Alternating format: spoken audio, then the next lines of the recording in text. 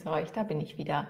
Heute ein bisschen früher als sonst, weil ähm, ich noch was zu tun habe. Tristan hat morgen Geburtstag und ich habe heute ein bisschen früher Feierabend, weil ich noch einkaufen muss und einen Kuchen backen und naja, das, was man so als Mama eines dann Siebenjährigen alles so tun muss, wenn der Junior Geburtstag hat.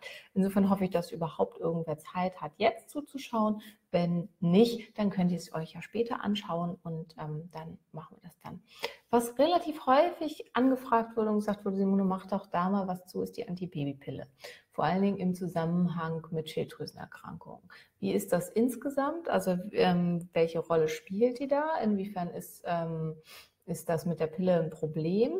Und zum anderen, ach so, äh, äh, habt ihr Ton? Jetzt muss ich mal eben hier Kommentar. Ach, jetzt geht das schon wieder nicht. So, ah, jetzt kann ich euch sehen. Okay, ein Kommentar.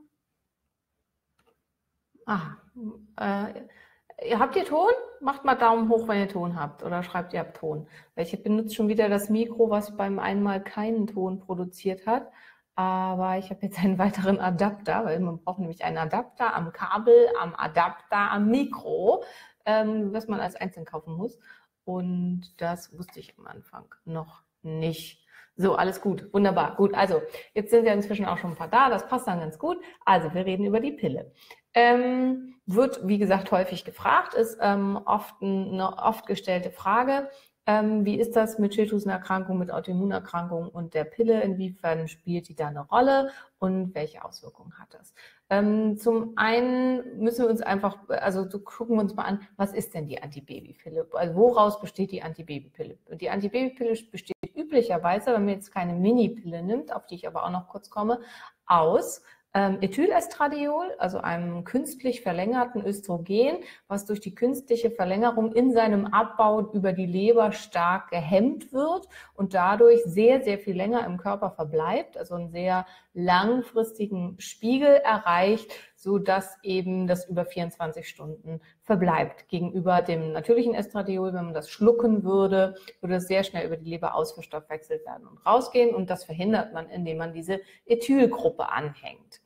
Ähm, daraus ergibt sich schon gleich mal das erste Problem. Es ist eben für die Leber wesentlich schwieriger, das zu verstoffwechseln. Deswegen führt die Pille auch bei einem gewissen Prozentanteil von Frauen zu einer deutlichen Leberwerterhöhung und kann sich schädigend auf die Leber auswirken. Das ist bekannt.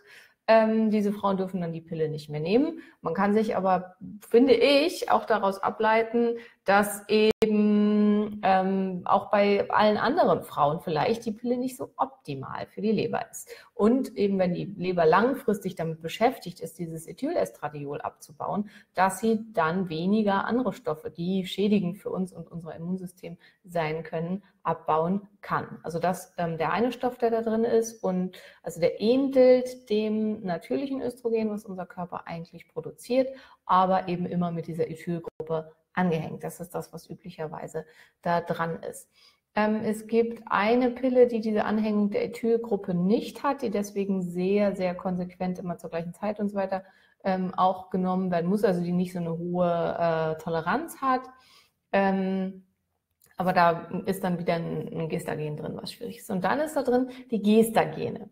Und die, das Gestagen ersetzt quasi das Progesteron in der Pille und da ist ganz, ganz wichtig zu verstehen, Gestagene sind keine künstlichen Progesterone. Also wenn wir uns die biochemische Struktur und die chemische Struktur, die Strukturformel dieser Stoffe angucken, dann sehen die völlig unterschiedlich aus. Also während es ähm, Progesteronableger und dem Progesteron ähnliche Stoffe gibt, ähm, gibt es halt eben, also wie zum Beispiel im Dufaston, das ist ein ähm, künstlicher Progesteronableger, den man als äh, in der Kinderwunschbehandlung benutzt. Das ist einfach so ähnlich wie das Progesteron, nur zehnmal wirksamer. Ähm, sind die Gestagene, die in der Pille verwendet werden, überhaupt nicht äh, so wie Progesteron und haben dementsprechend, also außer, dass sie eben dem Körper quasi eine Scheinschwangerschaft durch einen ständigen Progesteronspiegel, das stimmt übrigens nicht. Das ist nur, ist nur ganz, ganz grob erklärt, so ein Mechanismus, aber sie gaukeln dem Körper eben eine ständige Progesteronausschüttung vor. Also es ist keine Scheinschwangerschaft, die die Pille macht. Das ist auch ganz wichtig zu verstehen. Aber es wird immer so gesagt, damit man es besser verstehen kann, warum das nicht funktioniert, dass man dann noch weiter schwanger wird. Also die Gestagene blockieren die Progesteronrezeptoren, gaukeln dem Körper eine ständige Progesteronausschüttung über äh, ähm, einen bereits stattgefundenen Eisprung vor haben aber keine der sonstigen positiven Wirkungen des Progesterons. Die nämlich wären, Progesteron ist stark dehydrierend, das heißt, es führt dazu, dass Wasser aus dem Körper ausgeschieden wird, was vor allen Dingen bei Östrogendominanzen oft ja ein Problem ist mit Ödemen und so weiter und was eben auch bei Schilddrüsenerkrankungen ja häufig ein Problem ist, dass man mit Ödemen Schwierigkeiten hat. Ähm, des Weiteren wirkt es hoch antientzündlich. Bei Frauen ist Progesteron das mächtigste antientzündliche Hormon, das wir zur Verfügung haben. Bei Männern ist es das Testosteron. Auch Testosteron ist im großen Maße antientzündlich, aber vor allen Dingen eben das Progesteron hoch antientzündlich. Ähm, ja, also von daher, ähm, da, das fällt auch weg, diese hoch antientzündliche Wirkung, die die Leukotriene, Interleukine und diese ganzen Entzündungsprozesse in unserem Körper in Schach halten können. So, und ähm, dann als, als dritte Sache bei der ganzen Geschichte, ähm, Progesteron ja, ist stimmungsstabilisierend, wirkt ähm, Angststörungen entgegen und äh, sorgt dafür, dass wir insgesamt von der Stimmungslage einfach stabiler sind und stressresistenter sind. Und auch das fällt eben weg, wenn man das Progesteron nicht mehr nimmt oder nicht mehr, Quatsch, nicht mehr nimmt, nicht mehr produziert, weil man eben die Gestagene nimmt. Dann ist das Problem, dass die Gestagene unterschiedliche Zusatzwirkungen haben. Sehr viele Gestagene haben eine Cortisolartige Wirkung. Ähm, das heißt, wenn man sowieso schon sich im Nebennierenfehlfunktionsstadium 1 oder 2 befindet, wo man ständig zu viel Cortisol hat, dann wirken die Gestagene, die man einnimmt, die cortisolartig sind, für den Körper eine weitere Belastung durch, ein, durch eine Stressreaktion sozusagen. Ähm, das kann hilfreich sein bei Personen, die sich im Stadium 3 oder 4 der Nebennierenfehlfunktion ähm, befinden, weswegen bei Nebennierenfehlfunktion, wenn die Pille dann abgesetzt wird, bei Menschen, die sich schon in dieser fortgeschrittenen Nebennierenfehlfunktion ähm, beschäftigen, das Absetzen der Pille zu einer deutlichen Verschlimmerung des Beschwerdebildes führen kann. Ähm, ja, aber also das äh, viel, viel häufiger, das hatte ich ja schon ein paar Mal erwähnt, ist im Stadium 1 und 2. Und wenn ich hier jetzt noch ein Cortisolartiges Gestagen mit dazugebe, kann das die Problematik verschärfen. Dann kann es ähm, mineralkortikoide Wirkungen haben, also so wie das Aldosteron. Das ist meistens recht hilfreich, weil man eher Aldosteron zu wenig hat. Nichtsdestotrotz ist es auch wieder was Künstliches. Und es kann androgenartige Wirkungen haben. Ähm, auch das tendenziell, also das ist so ein bisschen so, dass diese androgenartige Wirkung, wenn man äh, anti, äh, Quatsch, äh, diese antiandrogene Wirkung, wenn man die haben will, vor allen Dingen bei Frauen mit einem PCOS, mit einem zusätzlichen Hirsutismus, also mit so ähm, zu, zu starker Behaarung, männlichem Haarausfall und so weiter, ist die Pille oft das Einzige, was wirklich da eine erhebliche Verbesserung bringt. Und dann muss man ganz stark abwägen zwischen dem, was man möchte und dem, was eben nicht gut ist und dann für sich entscheiden, ähm, was man, also ob man die Pille weiterhin nehmen möchte oder nicht. Weil ich finde immer, also wenn es eine starke Lebensqualitätseinschränkung ist und äh, ein männlicher Haarausfall, ähm, eine starke zusätzliche Körperbehaarung und so weiter, das ist eine ganz, ganz starke psychische Belastung. Also gerade was Haarausfall angeht, das ist was, was Frauen wahnsinnig belasten kann und was eine ganz massive psychische Belastung machen kann.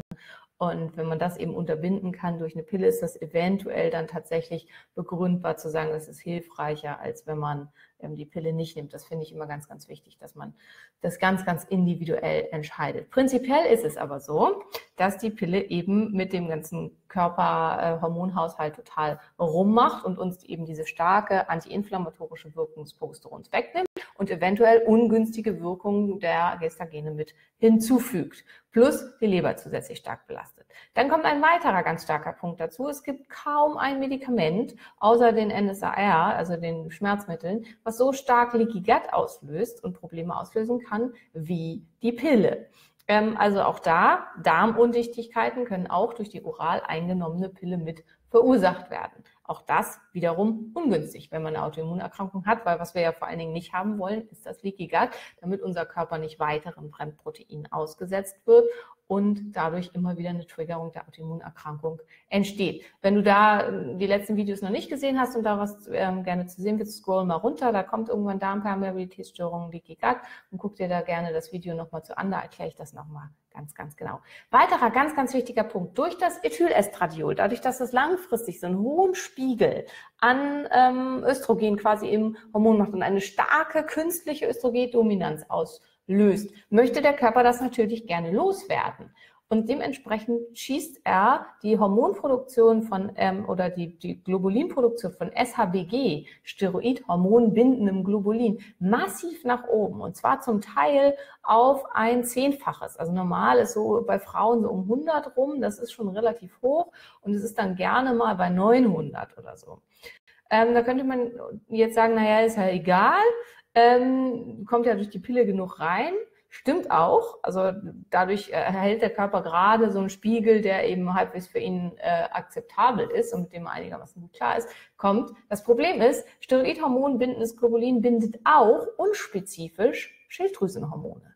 Das heißt, ähm, von dem bisschen, was meine Schilddrüse vielleicht noch tut, wenn ich nicht viel an Schilddrüsenhormonen zusätzlich nehme, ähm, wird auch noch ein Großteil abgebunden und, ähm, und oder, wenn ich Schilddrüsenhormone nehme, ist mein Bedarf deutlich erhöht. Plus, wenn ich eine Pillenpause mache, also wenn ich versuche, einen regelmäßigen oder einen normalen Zyklus zu, zu, simulieren, was übrigens Quatsch ist, also es ist eine reine Simulation, die man eingeführt hat, ähm, weil die Frauen das so wollten. Also den Frauen erschien das bei der Einführung der Pille zu Recht, muss man sagen, ähm, ähm, zu Recht erschien den Frauen das unnatürlich und deswegen wollten sie gerne, dass wieder eine monatliche Blutung eintritt. Und deswegen hat man sich für diese Pillenpause entschieden. Dafür gibt es keinen physiologischen Grund. Also es macht überhaupt, eigentlich überhaupt keinen Sinn, überhaupt eine Pillenpause zu machen, wenn man die Pille denn schon nimmt. Also es gibt keine reinigende Wirkung durch die Blutung oder so, was häufiger mal behauptet wird.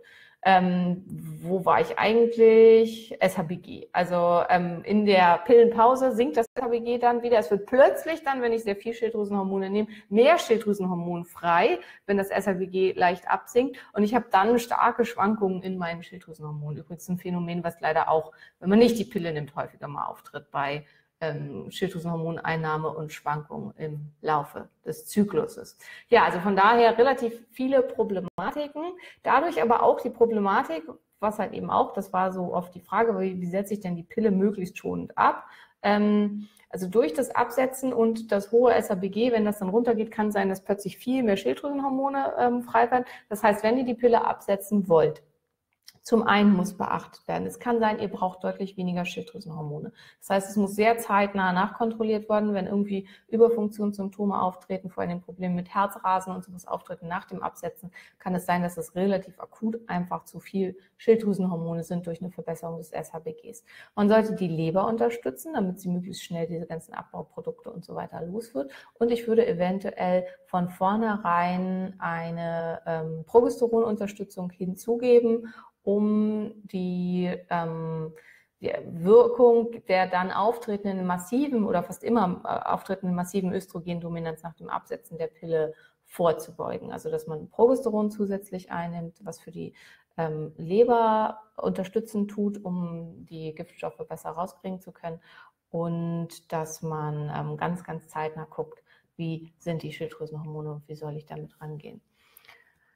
Ähm, kann ich die antiandrogene Wirkung auch ohne Pille hervorrufen? Genau, das ist halt also das, was ich gesagt habe, weswegen man genau gucken muss, wie ist so der individuelle Stress durch die ähm, Hyperandrogenemie. Ähm, nicht so wirklich. Also es gibt das Spironolacton. Spironolacton ist eigentlich, ähm, also hat eigentlich eine mineralkortikoide Wirkung, hat aber eine rest-antiandrogene Wirkung, ist eigentlich für diese Indikation nicht gedacht, kann man aber verwenden. Das funktioniert. Manchmal hat aber auch eine ganze Menge Nebenwirkungen, vor allen Dingen eine ganze Menge Nebenwirkungen auch auf die Nebenniere. Ähm, also insofern sollte man da auch eher vorsichtig sein, aber das ist was, wo es manchmal Therapieversuche ähm, gibt, also was man da benutzt. Ähm, es gibt natürlich Antiandrogene, also die echten Antiandrogene, die ganz, ganz massiv in den Hormonhaushalt angreifen, massive Nebenwirkungen, Die kann man aber geben. Das ist aber eigentlich so Ultima Ratio der Behandlung bei PCOS. Also wenn es irgendwie gar nicht mehr anders geht. Die machen halt auch einen extremen Libidoverlust, eine starke Affektlabilität ist, dass man weinerlich wird, reizbar und also eher auch nicht so zu empfehlen unbedingt. Und dann gibt es eben ein paar natürliche antiandrogene Substanzen, die diesen Umbauprozess hemmen sollen. Ähm, und die könnte man da verwenden. Also man kann versuchen, das, den Östrogenspiegel ein bisschen anzuschieben, zum Beispiel über Hopfen. Also was man mit Hopfen rein. Kurkuma ist eine super Substanz, weil es den Steroidabbau insgesamt ähm, verbessert und zugunsten von, äh, also der, der, eine Beschleunigung des Abbaus, ähm, sodass auch weniger diese ähm, starken androgenen Wirkungen auftreten. Ähm, ja, also es gibt ein paar natürliche Stoffe, die man nehmen kann. Man kann eventuell mit Phytoöstrogenen arbeiten. Ähm, das mache ich persönlich aber nicht gerne, weil die Phytoöstrogene auch Östrogendominanzen hervorrufen können. So, ich muss hier immer runterscrollen, um Fragen zu sehen. Hm. Welche Alternativen gibt es? Ähm, als, also ich persönlich bevorzuge auch für junge Mädchen, jung oder alt oder völlig egal. Ich finde, jedes, jede Frau sollte NFP lernen, natürliche Familienplanung. Da wird jetzt oft gesagt, ah, das ist doch so unsicher. Das stimmt nicht. Also wenn man es richtig erlernt hat und wirklich kann, dann ist es überhaupt nicht unsicher. Der Pearl-Index ähm, der symptodermalen Methode, also wo man tatsächlich zwei bis drei Symptome untersucht, sprich den Cervixschleim, die Beschaffenheit der Cervix und die Temperatur. Das sind die drei ähm, Methoden. Man sollte mindestens zwei davon täglich untersuchen. Liegt bei einem Pearl-Index von eins. Das entspricht den alten Pillen. Ähm, das heißt, es ist nicht deutlich, nicht unsicherer als die Pille, sondern ist ungefähr gleichwertig, aber es bedarf natürlich einer hohen Auseinandersetzung mit dem Ganzen. Man muss aber sagen, durch diese Möglichkeiten, die ich schon mal in einem anderen Video vorgestellt habe, dass man heute den i-Button nutzen kann. Ein Thermometer, was in der Scheide, in der Silikonhülle getragen wird und alle halbe Stunde die Temperatur misst, kann man zum Beispiel einen super sauberen Temperaturverlauf ermitteln, ganz, ganz einfach am Computer auswerten lassen und kann dann super genau seinen Eisprung ähm, ermitteln lassen. Klar, man muss dann in der ersten Zyklushälfte zusätzlich Kondome verwenden, wobei ich halt persönlich finde, junge Mädchen sollten nach Möglichkeit, außer sie sind in einer Langzeitbeziehung, sowieso Kondome verwenden, um halt ähm, Geschlechtskrankheiten vorzubeugen. Aber wenn man sagt, okay, das ist mir alles nichts, ich will mich da eigentlich überhaupt nicht drum kümmern und ich will da nichts mehr zu tun haben, ähm, dann wäre es eben eine andere Möglichkeit. Dann gibt es tatsächlich die Kupferkette. Ähm, die Kupferkette, finde ich, hat den großen Nachteil, dass sie in die Gebärmutter eingeschraubt wird.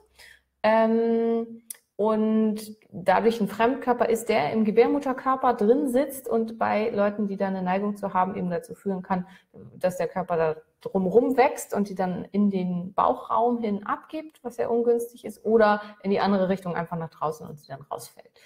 Ähm, andere Möglichkeit ist der Kupferball, hat auch einen super kleinen Inserter. Das ist toll, also den bringt man einfach rein.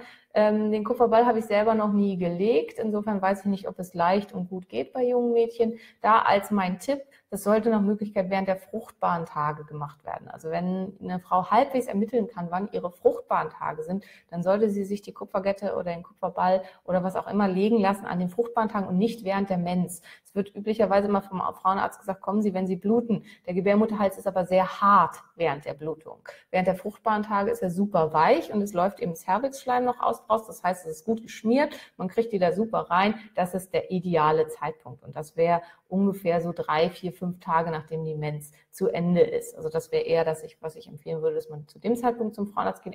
Erstens, der Arzt sieht besser, weil kein Blut rausläuft, was einem halt sonst immer die Sicht wegnimmt, was blöd ist. Und zweitens, der Gebärmutterhals ist ganz weich und man kann ganz sauber und fast schmerzfrei ähm, den Kupferball oder die Kupferkette einsetzen. Ansonsten gibt es noch das Mini-T, also die ganz normale Spirale in Mini. Ähm, die hat ein bisschen größeren Inserter als die Kupferkette und der Kupferball, aber dieses kleine bisschen äh, größer ist im Prinzip eigentlich auch unkompliziert und ist viel billiger als die Kupferkette und der Kupferball und ähm, ist aber nicht wesentlich schmerzhafter. Also bei den meisten Nullipara kann man auch problemlos das setzen.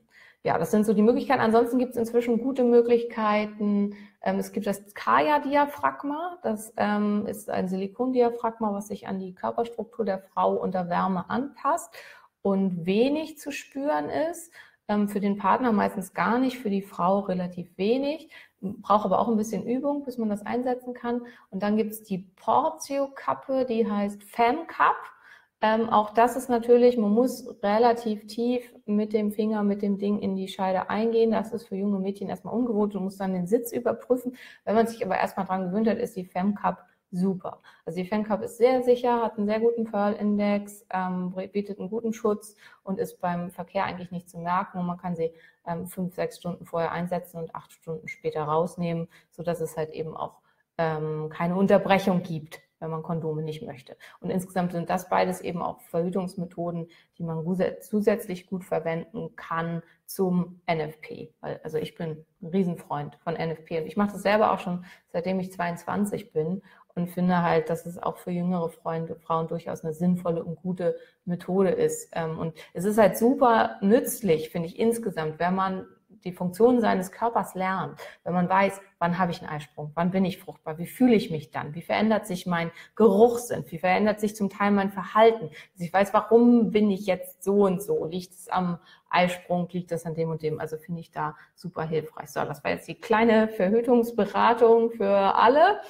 Ähm, was für Progesteron sollte man nehmen? Immer wirklich Progesteron. Es gibt nur ein Progesteron und da ist immer der, der, der, der wird ganz oft erzählt, es wäre künstlich und irgendwas und so weiter. Ja klar, das künstlich ist das alles. Also außer, ähm, also ich bin mir nicht ganz sicher, ob das stimmt, aber es wird immer noch gesagt, also Firma Kade hier in Berlin, die kaufen, also haben ganz lange immer Plazenten eingekauft weltweit und haben daraus Progesteron gewonnen. Das ist dann wirklich ähm, human identisches Progesteron beziehungsweise humanes Progesteron, weil es wurde ja vom Menschen aus der Plazenta gewonnen. Ähm, der, der, die beiden Wirkstoffe wären Utrogest und Progestan. Ähm, es kann aber auch sein, dass auch diese inzwischen synthetisch produziert werden. Ich glaube aber, die werden immer noch aus Plazenta produziert. Dann gibt es ansonsten Famenita, ähm, Famenita enthält ähm, auch natürliches Progesteron, genauso chemisch exakt identisch, entspricht dem, was wir selber produzieren.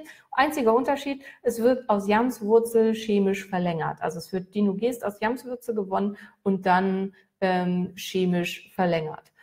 Ähm, und ja, so, also welches Progesteron sollte man nehmen? Wirklich Progesteron, nicht irgendeinen anderen Kram. Kein Dufaston und auf keinen Fall irgendein Gestagen, weil das ist kein Progesteron, das ist wie gesagt ein Gestagen. Und es gibt nur eine Sorte Progesteron.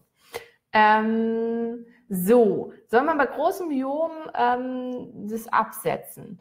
Also das Problem ist, ähm, dass also klar unter dem starken Gestagen werden die Rezeptoren an der ähm, äh, Gebärmutter blockiert und dadurch erhofft man sich, dass das Myom nicht weiter wächst. Man muss sagen, das klappt in manchen Fällen, in vielen aber auch nicht. Ähm, tatsächlich sind Myome aber wahrscheinlich ein schon lange bestehender Progesteronmangel. Und wenn man Myome funktionell behandelt, dann gibt man relativ hochdosiert und auch relativ dauerhaft über die ähm, über eine sehr hohe Länge Progesteron. Und in vielen Fällen erreicht man dadurch dann tatsächlich eine Schrumpfung des Myoms und eine deutliche Verbesserung, tatsächliche Verbesserung der Erkrankung. Aber das muss im Einzelfall individuell entschieden werden. Wenn man einfach nur die Pille absetzt und man hat ein Myom und macht nichts weiter anderes, dann ist tatsächlich das Risiko, dass das Ding weiter wächst und man dadurch noch mehr Probleme kriegt, auf jeden Fall gegeben. So, habt ihr sonst noch Fragen? Das war jetzt sehr frauenspezifisch, es sind ja auch immer ein paar Männer dabei, sorry, aber es gibt eine ganze Menge Themen. Also Autoimmunerkrankung ist halt das Verhältnis einfach 10 zu 1 Frauen zu Männern und deswegen gibt es einfach eine Menge Themen, hm, die frauenspezifisch sind und die ich aber super wichtig finde, trotzdem die zu besprechen. Es waren jetzt ja doch noch einige da, das freut mich sehr. Ähm, ja, wir waren ja irgendwann schon mal bei 80, aber heute war ich ja auch nicht in meiner Zeit. Ich bin ja eine Stunde zu früh. Also ich würde mich insofern wie immer riesig freuen, wenn ihr das Video teilen würdet, weil ich würde mich ganz doll freuen, wenn demnächst auch mal wieder ein paar mehr dabei wären. Morgen hat, wie gesagt, der Tristan Geburtstag. Ich würde sagen, morgen machen wir mal um zwei. Ich trage das oben auch noch mit ein. Morgen machen wir mal 14 Uhr. 14 Uhr morgen Facebook Live. Wenn ihr noch ein Thema habt, ich habe für morgen noch keins, dann postet mir das noch unten drunter oder macht jetzt noch einen Vorschlag, dann können wir das noch gemeinsam diskutieren quasi, ähm, ob das gut befunden wird oder nicht. Ähm, Ansonsten mache ich irgendwas, was mir morgen spontan einfällt. Ich persönlich beschäftige mich im Augenblick ganz viel mit Entgiftungsgeschichten und so weiter und würde vielleicht dann da noch was zu erzählen und zu den äh, ja, verschiedenen Prozessen da. Aber wir können auch ganz was anderes machen. Also wenn ihr irgendeinen guten Vorschlag habt, dann sagt einfach Bescheid. So. Bei Darmentzündung kann man Progesteron geben. Progesteron ist, wie gesagt, hoch antientzündlich, ist da super hilfreich. Ähm, Pille ist bei Colitis ulcerosa extrem ungünstig. Also alles, was ich vorher auch für, gesagt habe, gilt für Colitis ulcerosa auch. Ähm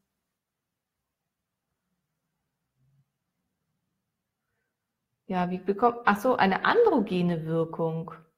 Nee, das ist die Frage, verstehe ich nicht. Du willst, du hast einen Hirsutismus und willst aber trotzdem gerne Testosteron zuführen. Ähm, ja, also da müsste man im Prinzip gucken, dass man die Aromatase-Wirkung zwischen Androstendion und die Hydrotestosteron und Testosteron unterbindet. Das ist sehr, sehr speziell. Also da braucht es einen guten Gynäkologen, äh Quatsch, meistens Endokrinologen, aber Gynäkologen machen das auch häufig, der sich das dann anguckt, die einzelnen Werte anguckt und dann müsste man da eventuell sogar mit einem synthetischen Aromatasehemmer rangehen. Aber also das ist sehr, sehr speziell und auch zu speziell für ein Facebook Live. Sorry. Ähm, ja, also wenn ihr den habt, ähm, dann äh, schickt's mir. So, Entgiftung, ja. Äh, du, du, du, Was tut man bei einem hohen SABG? Ähm, äh, einfachsten Maßnahmen erstmal, die ich versuchen würde beim hohen SABG, ist S-Adenosylmethionin, Mariendistel sehr hoch dosiert und Kurkuma und dann beobachten, ob der SHBG darunter runtergeht. Okay, Entgiftung gefällt, äh, gefällt euch, das ist super, da kann man auch ein paar mehr von zumachen. Dann legen wir damit morgen mal ein bisschen los. So, ja, ich wünsche euch einen wunderschönen Nachmittag. Ich hoffe, ihr hattet tolle Ostern. Meine Ostern waren schön. Heute ist das Wetter in Berlin wieder ziemlich gut. Und Hashimoto und Blutzucker habe ich gerade erst ein paar Mal gemacht, Silke. Scroll mal nach unten bei den Live-Videos. Da hatten wir in letzter Zeit relativ viel zu. So, ich wünsche euch noch einen schönen Tag. Alles Gute. Bis dann. Gebt mir gerne nochmal einen Daumen hoch, teilt das Video. Danke, dass ihr da wart und bis morgen. Und morgen 14 Uhr, weil Tristan hat Geburtstag. Bis dann. Tschüss.